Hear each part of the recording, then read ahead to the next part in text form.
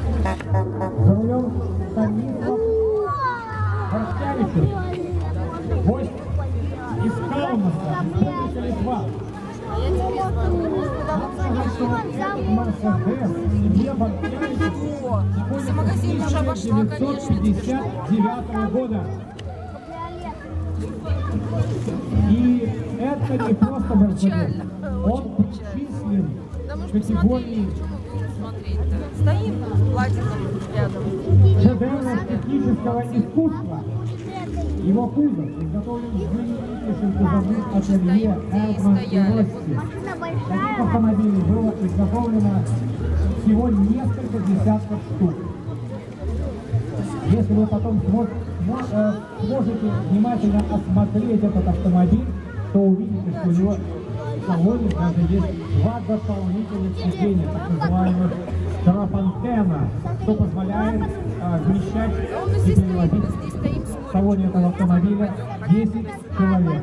Кстати, Станислав Борскавичев содержит свой Мерседес в идеальном техническом состоянии, никогда не пользуется тралами и всегда на все выставки и фестивали ездит своим ходом.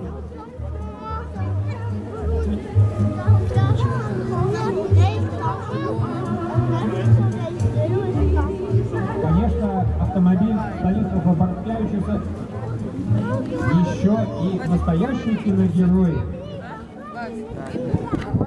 Снимался во многих фильмах, в том числе английских.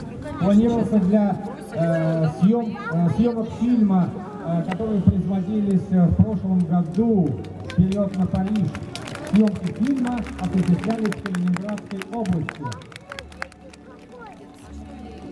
Вчера состоялась официальная презентация этого автомобиля в Калининграде на площадке резиденции королей.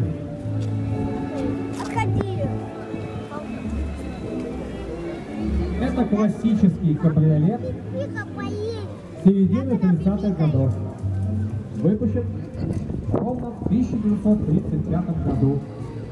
Сделан по специальному заказу Министерства обороны. По нашей версии, по версии историков, он использовался как кортежный кабриолет при различных праздниках и церемониях, недружественной, увы, сейчас нам стране. Посмотрите, двигатель работает совершенно бесшумно.